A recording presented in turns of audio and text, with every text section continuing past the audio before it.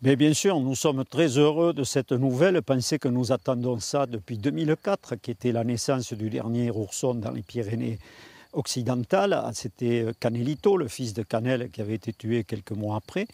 Donc nous sommes très heureux de cette nouvelle et nous espérons que ces oursons vont survivre et que ça sera le début de la restauration d'un noyau de population à l'ouest des Pyrénées, puisqu'il a failli disparaître. Euh, rappelez-vous qu'avant la réintroduction de ces deux femelles, le renforcement de ces deux femelles, il ne restait plus que deux mâles dans notre partie des Pyrénées. Donc la population était condamnée.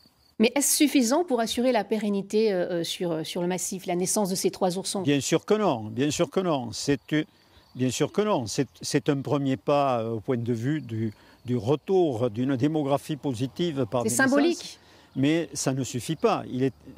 C'est symbolique et c'est aussi le début, effectivement, d'une réamorce d'un euh, renouveau de ce noyau qui avait pratiquement disparu. Maintenant, il faudrait que l'autre ours, Claverina, elle aussi, puisse avoir des petits, et surtout que ces petits survivent. Et pour que ces petits survivent, il faut avant tout leur fiche la paix. Et là, je lance vraiment un appel à tous les amoureux de la nature et à toutes les personnes qui, font du tourisme ou de la randonnée ou de la photo dans notre région.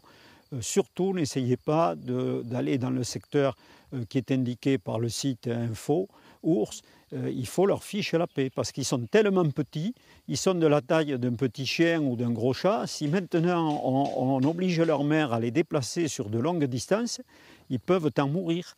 Et donc, euh, tout le bénéfice, euh, effectivement, de ces renforcements que nous avons mis si longtemps à obtenir, euh, serait complètement gommé. rappelons qu'on est sur la réintroduction hein, d'ours slovènes en, Béarn, au cœur du parc national des Pyrénées.